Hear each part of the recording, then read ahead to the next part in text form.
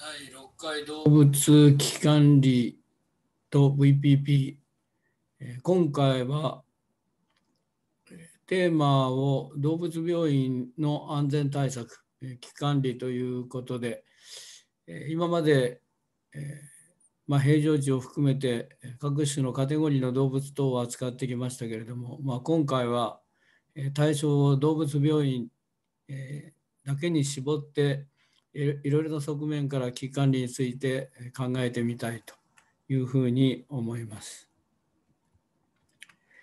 えー到達目標は、えー動物関連の使用施設である動物病院の医療安全と危機管理について、えー総合的にリスク評価して、えーその問題点、対策のあり方を理解するという、まあ、ある種、えー演習問題に近いような形になります。また、実習時の事故等についての対応についても、最後に付け加えておきました。失礼。まあ、キーワードとしては感染症対策、えー交渉事故防止、えー麻薬、向精神薬取り扱い、えー従業員、スタッフの健康管理、えー防火対策、廃棄物の処理、え緊急時の動物医療、えービジネスコンティニティマネジメントコンティニティプログラム、えーそして実習時の事故等、えー中身は基本的にサテライト大学院を千葉科学大学でやっていたときに、えー来られた、えー本田、えー美奈子さんの、まあ、指導教官として、えーまあ、飛び級1年で修士を取っていきましたけれども、その彼女が、えー修士論文のために作成したものを、使わせてもらっています。まあ、今回の講義で少し古くなった部分があるので、データ等一部、改変して、アップデートしています。まあ、予習復習です。今までの講義と多少違います。動物病院、動物診療施設は、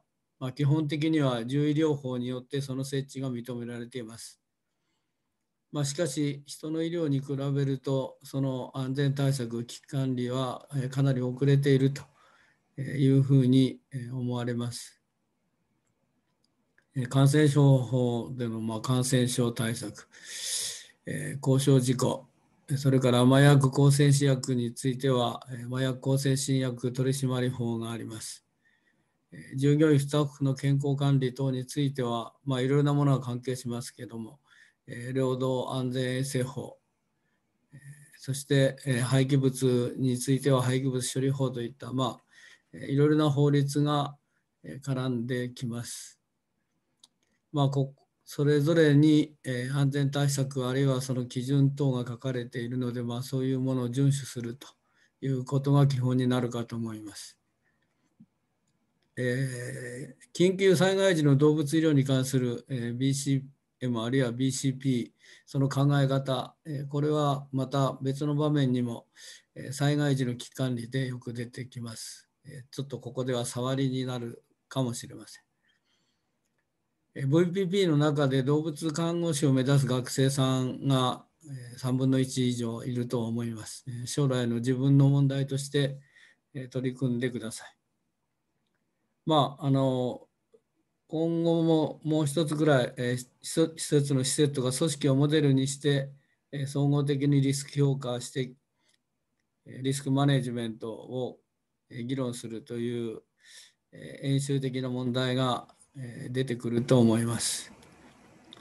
まあ、その都度、えー予習復習をして自分のものとして身につけておいてください。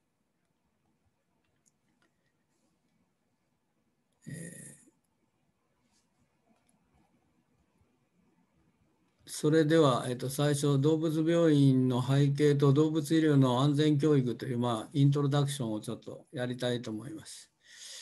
え背景ですけれども、別のところでも多少述べましたけれども、少し、え詳しくなります。我が国の犬の登録頭数は、え 昔は1000頭いうに1000万頭を超えていましたけれども、2020年最新のえー全国の犬猫飼育実態調査、ペットフード協会がやってくれますけれども、えっと、そのデータによると、えっと、犬はついに、えー、ここのところ1000万頭割って848万9000頭、えー、大体850万頭くらい、えー、猫とトップが変わったのは、えっと、数年前ですけども猫は964万、えー、4000頭ということです。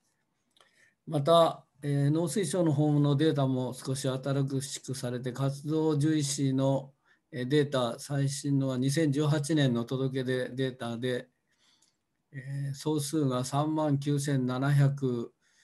人、まあ、そろそろ4万人につこうという、えー、その中で小動物診療が、まあ、図にあるように圧倒的に伸びて数を増やしていますけれども、えー1万5774人、大体1万6000人で最大規模です。えー、卒業生の調べの方も、えー、まあ、傾向はそんなには変わっていません。えー、依然として他の職種に比べて非常に多くて、え文科省のまとめですから、2017年のデータで54%、まあ、一時60%近くまで行きましたけど、えまあ、現状でのニーズが高いということですけど、まあ、これ、動物病院についての、えー、安全衛生あるいは危機管理という研究はなされてこなかったということで、まあえー、彼女が、えー、小動物病院における危機管理についての、えー、できれば対応対応マニュアルを作成したいということで、えー、修士のテーマにしたということです。でまあえー対象となる動物病院の推移と、まあ、ざっとした収入を考えてみたいと思います。まあ、そこに、えー、動物病院施設の推移が書いてありますけど、まあ、ゆっくりゆっくり、えー、やはり伸びているという状況です。えー、近年年間大体200から250の動物病院が、まあ、新規開設をすると、まあ、黄色のグラフで書いてあります。えーバーは、え、右の方になりますね。まあ、一番小さい、少ない時は、まあ、年によりますけど、100件からまあ300件くらいという、まあ、200件前後、200プラスマイナス50くらいですかね。えーまあ、全体として動物病院数は、えー、前増傾向です。えー、2018年の最新のやつ、ここにはグラフ1年遅れですけど、2018年では1万1981人、えー、まあ、1万5774人が活動獣医師として小動物に携わっているということですので、えー、1万1981の動物病院でまあ割ると平均規模は 1.3人、1病院あたり1.3人という獣医師小動物獣医師になっているということで、まあ、基本的には、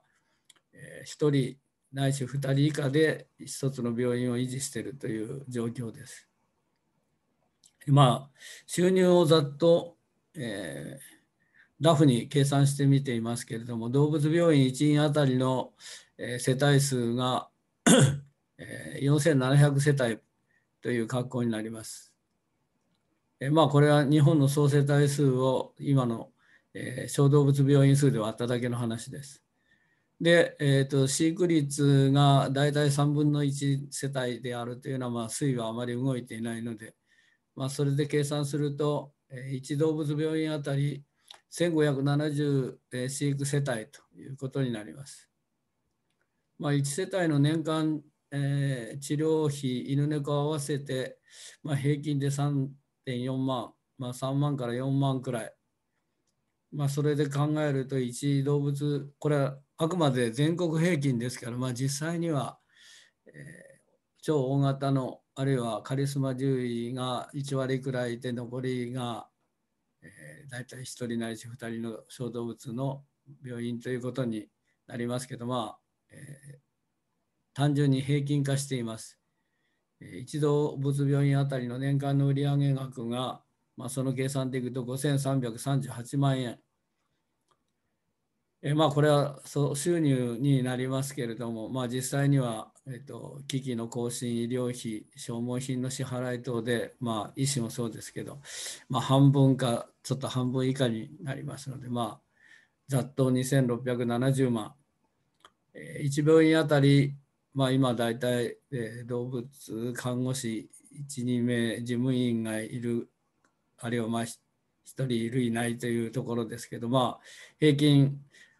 動物看護師2人、事務員1人くらいと考えて、まあ、1000万円払うとすると、えー、1000万円減って1.3分の1になりますから、獣医師1人当たりの収入が大体1280万で、まあ、税込みですから、えー、住民税、えー、所得税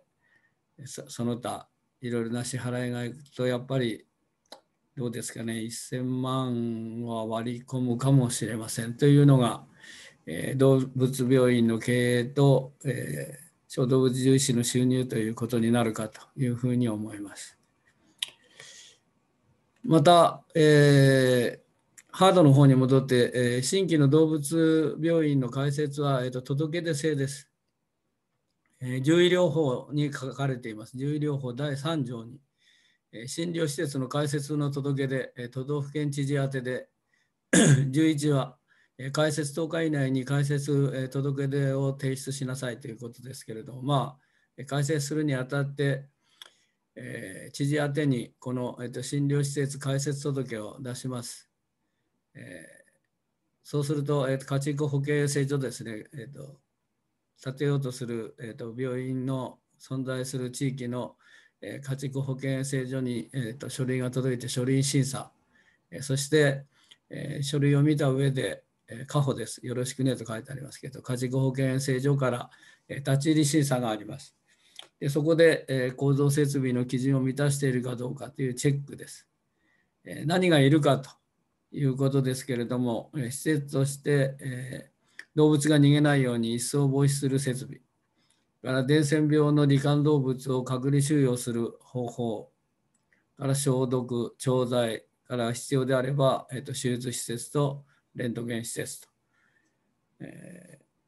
まあそういう施設のほかに、えー、運営体制として、えー、勤務体制の確認書、えー、住所、氏名、押印、それから獣医師免許証、平面図、えー、激毒薬、それから、えー、麻薬の保管場所、えー、これだけのものを、えー、提示して、えー、許可を、まあ、基準を満たしているということが了承されれば、えー、獣医師はいつでも開業することができます。で、えー、開設の条件ももう少しちょっと見てみますと、獣医師等が動物病院を開設しようとする場合、えー、獣医療法、えー、これは、えーと、実は法規のところで説明しましたけれども、一つはその通りで動物、飼育動物の診療施設の開設と管理に関して必要な事項が全部書いてあります。もう一つ、えっと、この法律の目的は、えっと、獣医療、適正な獣医療を提供する体制を作りなさいということで、えー、まあ、整備計画を農林水産大臣及び都道府県知事の責務として、えー、認めあの出しているという、まあ、少し面白い法律で、え国相手と,、えー、と獣医師相手に、え2つの目的で書かれています。え獣医師獣医療法の中の、え動物診療施設開設については先ほど言ったように 届け出確認されれば OK ということで、まあ、もう少し先ほどの詳しく言うと、まあ、開業する獣医師は開設届を所在地を管轄する家畜保険衛生所ですね、過保に提出すると。そうすると、え開設届の書類審査をした後、えー、構造設備の概要等について立ち入り審査があると。まあ、その時、先ほど、え、簡単に述べましたけど、え、構造設備の基準というものがあります。え飼育動物の一斉を防止する逃げないようにするために必要な設備、まあ、どんなものかというと、檻、ケージ、杭、補定枠等の係留施設、あのまあ大動物も兼ねるので、ここに、杭とか補定枠があります。から動物が自力で開閉できない、扉、窓、といったものですね。から伝染病にかかっている疑いのある飼育動物を隔離収容する設備がいると。まあ、具体的には、えー、檻とかケージの間に間仕切り板を設置したというものでも認められるようです。で 消毒設備としては、えー、100度で煮る、えー、煮沸消毒、えー、滅菌手洗い機、えーまあ、この辺はもうコロナの以前から大体できていると思います。からあと感染動物収容施設の消毒用噴霧器、えー、酸霧器と、まあ、これはそんなに難しいことではないと思います。から調剤をする場合は調剤を行う施設が必要で、えー、冷暗貯蔵のための設備と調剤に必要な器具といって何かといって調剤台と 明かりと薬さしていいというなんか江戸時代みたいなような感じもしないではないですけど、えー、から手術をやる場合え外科手術をやるところでは、えー、と手術設備は、え内壁床が耐水性のもので覆われているこという条件がつきます。から、えレントゲン設備で、え人が常時立ち入る場所の、え実光線量が1週間で、え1ミリシーベルト以下。まあ、放射線暴露については後で詳しく説明します。まあ、その他、ごめん、管理獣医師、勤務体制の確認書、住所、氏名、押印と、から獣医師免許証、えー、診療所の平面図、えー、激毒薬、麻薬の保管場所ということが、えー、条件となっています。まあ、そんなに仰々しいものではないという感じがします。まあ、こういうハードウェアとソフトで始めるわけですけど、まあ、比べてみると動物と人のその医療安全という考え方はかなりまた差があります。人の医療安全っていうのは海外では、えっと、1917年に米国の外科学会、え病院標準化というミニマムスタンダード・フォー・ホスピタルズという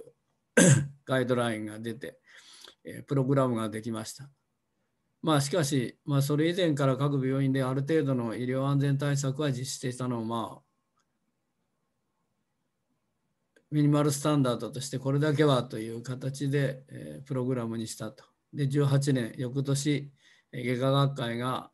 病院のオンサイトインスペクションズという、まあ、立ち査察ですね、を始めたということで、まあ、かなり、もう100年近い歴史を持つ学校になります。日本の医療安全がま具体的に動いたのは1999年2000年感染症法ができた直後ですね大学病院で発生した患者の取り違い事件とか注射液への誤注入等がま相次いで国が介入するという形で国主導で医療安全対策が、えまあ、その後10年くらいの間にかなりの勢いで進行して今に至っています。一方、動物の医療安全については、OIE ですね、国際獣疫事務局、今、世界動物保健機関とも言いますけれども、OI が、え全世界の獣医に向かってコアカリキュラムを、え獣医学教育のためのスタンダードとして出しました。えー、まあ、しかしここには動物医療安全の独立した科目立てというのはなくてですねまあ後で、見ます、えー、看護の方もそうですけどバラバラに項目として入っているというあと,、えーと、VICC という獣医感染症管理協会というのが、えバイオセーフティについては作りましたけれども、え病院の医療安全というのに対しては、えそれほどまとまった形のものは出していません。また、まあ、この OIE のカリキュラムと、まあ、ちょうど同じ頃になりましたけれども、2012年に、えー、獣医学教育モデルコアカリキュラムを作りました。えー、まあ、しかし、ここにも医療安全に関する独立した科目立てはありません。ほぼ多くはま公衆衛生その他のところに、えーバラバラと入れてあるということで、まあ、現状では獣医厚生衛生学や関連法規解説でカバーしているというのが現状です。国内外の動物医療安全教育というものをちょっと見てみると、まあ、今復習になりますね。獣医学教育に関する動物医療安全、コアカリキュラム、まあ、今見直していますけれども、51講義科目11実習を、まあ、セットしたけど、まあ、それで4年終了時点で教養試験を行って、その後、え、総合参加型臨床実習とアドバンスト教育で、えー、スキルアップするという、まあ、方針です。まあ、しかし、えー、ベースになる、えー、獣医学教育のコアカリキュラムには、えー、医療安全に関して、え、の教育は独立した形で組み込まれていなくて、えーまあ、それに対して医学とか歯学医師学あるいは看護学、えー、臨床検査技師学、えー、薬剤師学では、えー、医療安全教育というのが、えーと、コアカリキュラムの中に可視化される形で取り入れられています。えー、動物看護教育における、えー、動物医療安全、えーまあ、今まで、え、動物看護師養成、え、通信制の1年生から4年生まで、え、養成期間がありましたけれども、え、動物愛南動物看護師法が成立して、えーまあ、統一機構で試験をやるようになってできていましたけど、またバージョンアップをされています。2012年、えー、日本動物保健看護系大学協会が 動物看護師コアカリキュラム、えー、72単位というのを決めました。まあ、医療安全についてはやはり公衆衛生関連法規で触れるという格好です。え、新しい、えー、コアカリキュラムについては、え、どこに書かれているかを後で説明します。え海外、まあ、進んでいる英国での動物医療安全教育、えまあ、それでも、えー、獣医学教育に医療安全について独立した科目立てというのはえないようです。まあ、しかし、その、獣医師が責任を持つという点ではかなり明確化されていると。えー、動物看護師教育、あるいはその要請に対しての英国では動物病院における健康と安全に関しての教育を科目として行っているようです。動物診療時に起こるさまざまな波動に接する獣医師、看護師、関連職種の人々を対象に、えー、通信制から各種学校4年生大学での教育が行われているということのようです。えー、先ほど言った、えーと、認定動物看護師教育、えー、これコアカリキュラム2019年が、えーと、大幅に、えー、法律成立法律が成立したということを受けてですね、今のところ施行型の試験をやって2022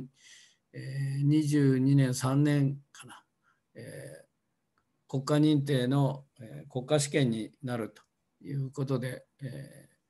コアカリキュラムがまた改定されてた、そのガイドラインで、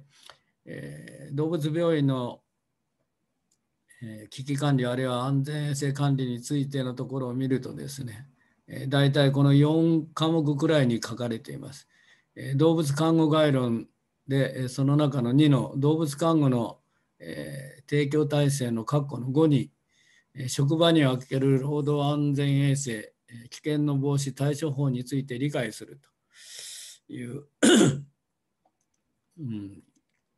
記述になっています。それから動物医療関連法規、これは、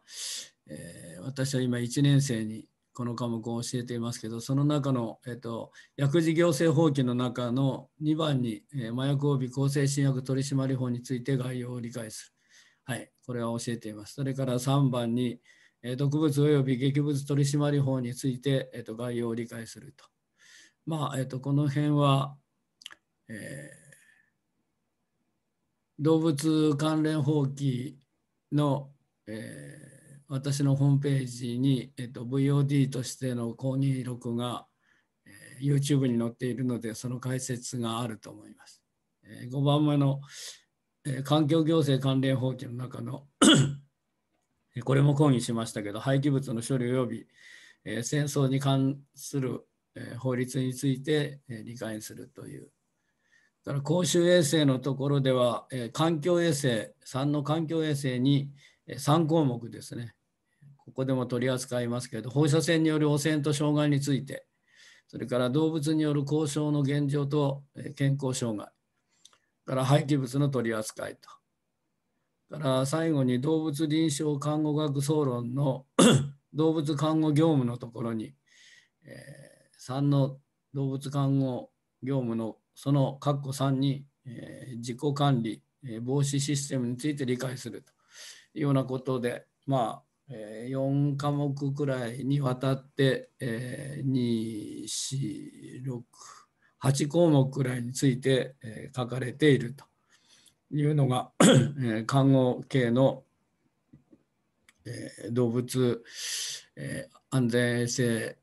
管理教育ということになるかと思います。